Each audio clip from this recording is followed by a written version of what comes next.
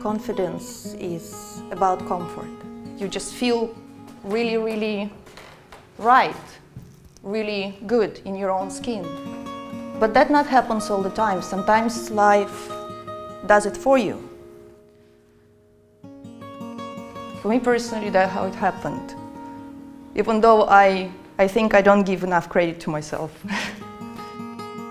what gives me comfort is um, when I'm really sure that I'm doing things right.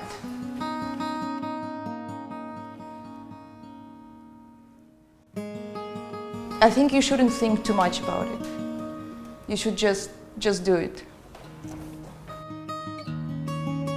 It makes you kind of feel paralyzed because it's so beautiful.